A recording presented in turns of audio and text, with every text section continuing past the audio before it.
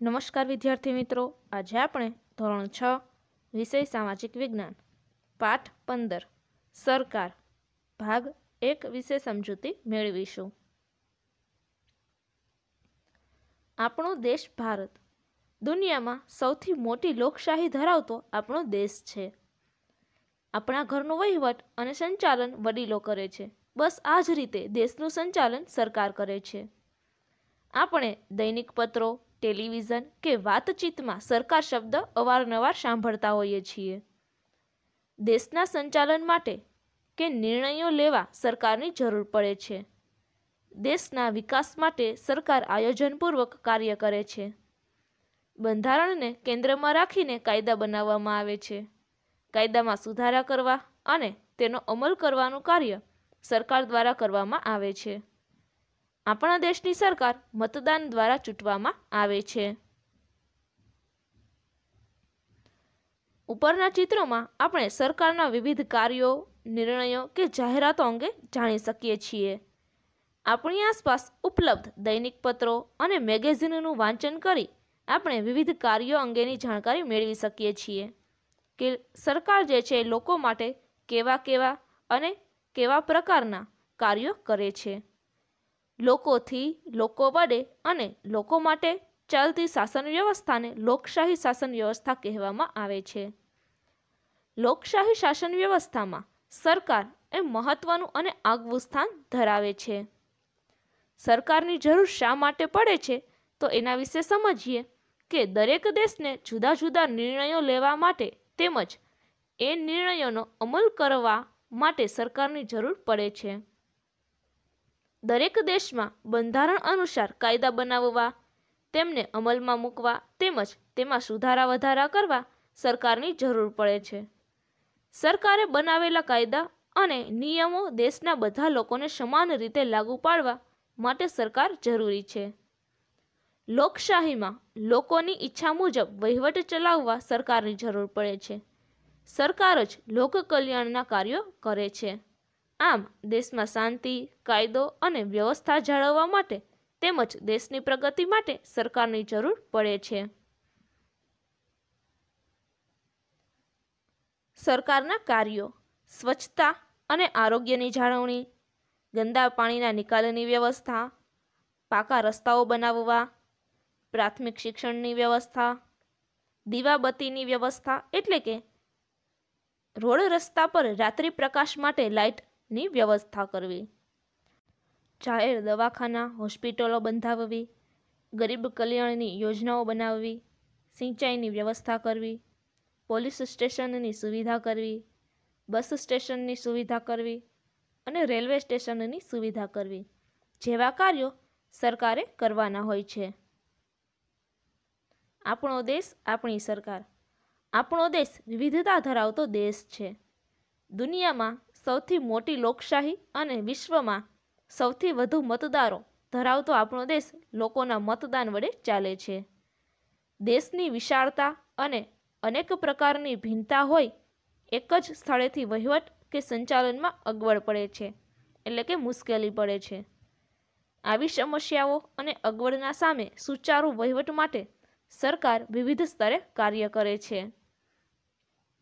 ભારત ખૂબ વિશાળ અને વિવિધતા ધરાવતો દેશ છે. તેમાં ઓગણત્રીસ રાજ્યો અને રાષ્ટ્રીય રાજધાની પ્રદેશ દિલ્હી સહિત સાત કેન્દ્ર શાસિત પ્રદેશો આવેલા છે. જો એક જ સ્થળેથી વહીવટ કરવામાં આવે, તો અનેક સમસ્યાઓ અને મુશ્કેલીઓ ઊભી થાય છે. નાગરિકોને ભારે હાલાકી ભોગવવી પડે છે. તેથી ભારતમાં એક જ સ્થળેથી વહીવટ કરવો શક્ય નથી. માટે લોકશાહી વ્યવસ્થામાં સ્થાનિક સરકાર રાજ્ય સરકાર અને રાષ્ટ્રીય સરકાર કાર્ય કરે છે.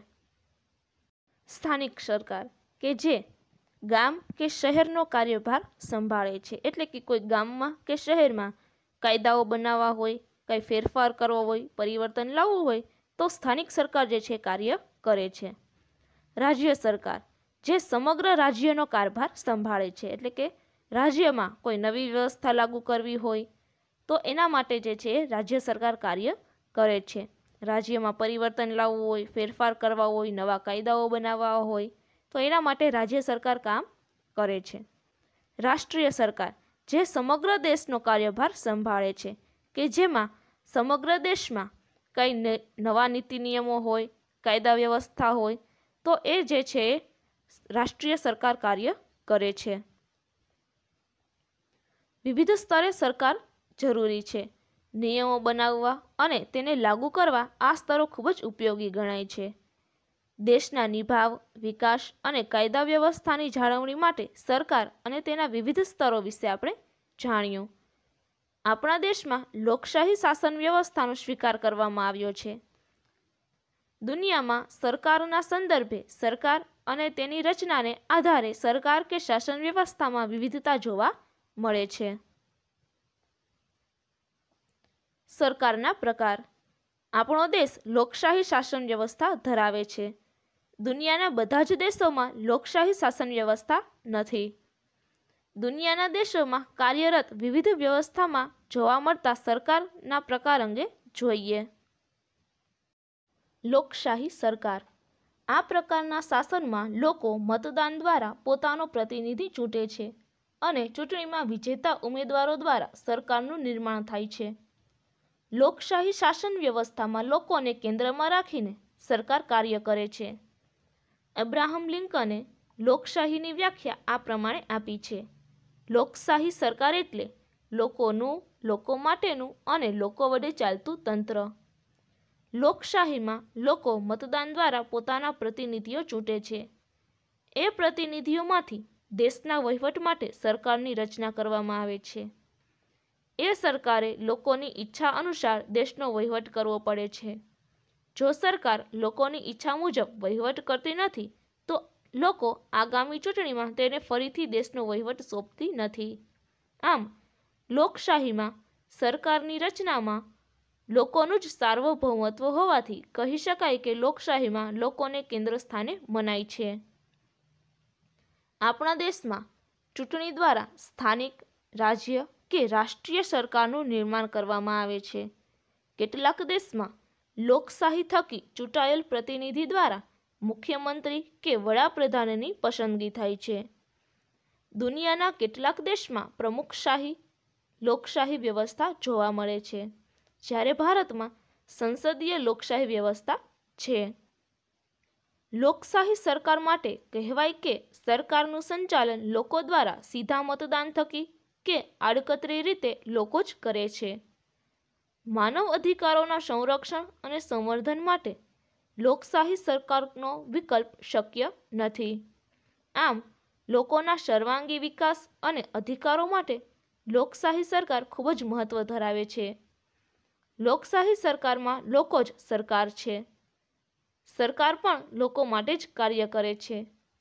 આપણા દેશમાં ચૂંટાયેલી સરકારની મુદત સામાન્ય રીતે પાંચ વર્ષની હોય છે. લોકશાહીમાં સરકારનું શું મહત્વ છે એ જોઈએ તો લોકશાહીમાં સરકાર લોકોને કેન્દ્રમાં રાખીને કાર્ય કરે છે. લોકશાહી સરકારમાં જ માનવ અધિકારોનું રક્ષણ અને જતન થાય છે. લોકોના સર્વાંગી વિકાસ અને અધિકારો માટે લોકશાહી સરકાર જ ખૂબ જ મહત્વ ધરાવે છે, એમ કહી શકાય. આ ભાગ એકની સમજૂતી અહીં પૂર્ણ થાય છે. આગળના પાઠની સમજૂતી હવે પછીના વિડીયોમાં જોઈશું. ત્યાં સુધી જય હિન્દ, જય ભારત.